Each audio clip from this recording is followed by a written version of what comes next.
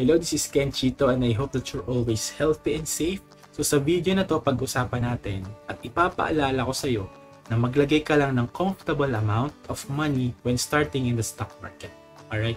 So hindi requirement na maglagay ka agad ng 5 digits, 6 digits, ano, ng pera sa stock market. So sa panahon ngayon sa halagang 1,000 pesos, pwede kang mag-umpisa ng iyong pag-invest sa stock market. May mga brokers na um, require you to start 5,000 pesos. So, hindi rin naman ganun kalaki. Ano? So, ngayon, ang kagandahan nito kapag nag-umpisa ka ng maliit sa stock market, uh, hindi ganun kabigat yung initial investment mo. Makakatulog ka sa gabi. At yun nga, as a beginner, mahalaga na maramdaman mo muna yung activity na meron sa stock market.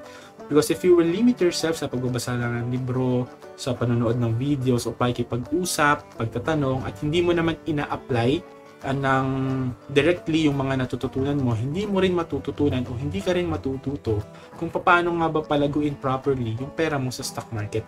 So parang pagmamaneho eh, hindi sapat na napapanood mo lang kung paano mag-drive o nabasa mo sa libro, sa isang article online, pero hindi ka hawak ng manibela at magmaneho, hindi ka matututong mag-drive. So experiential din yung pag invest sa stock market. Okay? So napakaganda na mag-upisa ka lang sa amount na comfortable ka na sabi ko nga para makatulog ka sa gabi. Tapos habang natututo ka, magdagdag ka ng additional investment. Okay? So kapag may additional earnings ka from your salary or from your business, itry mo siyang ilagay sa stock market account mo. Bumili ka ng mas maraming shares ng company na gusto mo, magdagdag ka ng shares o bumili ka ng bagong company kung gusto mo o mag-participate ka sa IPO, halimbawa or initial public offering.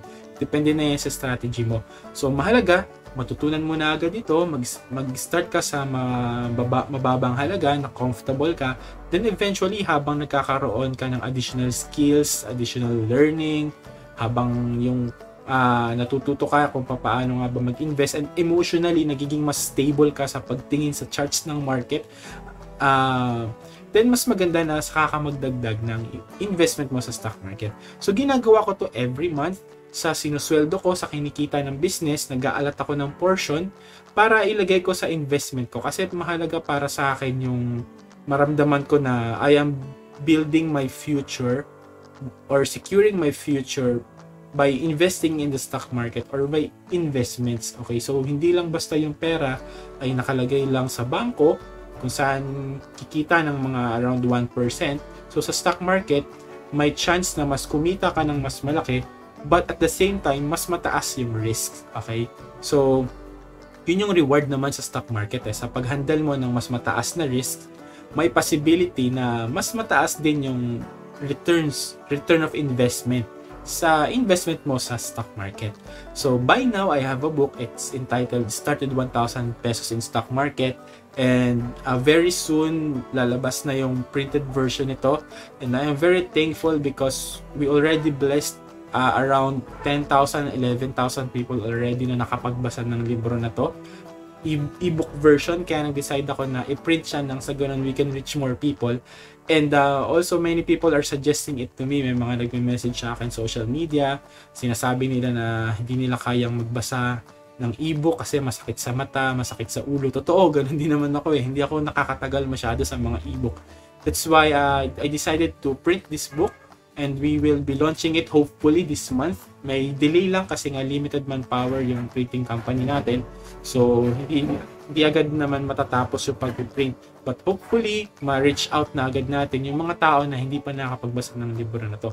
So again, if you want to um, learn how to invest in the stock market, this book, Started 1,000 Pesos in Stock Market, will definitely teach you kung paano nga ba yung magandang mindset pag mag-uumpisa ka sa stock market, yung magandang habit para ma-sustain mo yung investment investment mo sa stock market. All right? And then if you buy this book, this ebook, uh, you will receive marami pang bonuses. Ano, may mga free videos ako na hinanda para maging uh, guide mo rin, additional learning mo, may additional ebooks ako na ibibigay sa iyo, the top 30 Philippine companies in the stock market and guidebook mo Pinoy sa mutual funds. Kung gusto mong matuto kung ano nga ba yung mutual funds. At i-discuss ko yung mutual fund na yan sa mga susunod na mga videos ko dito sa social media.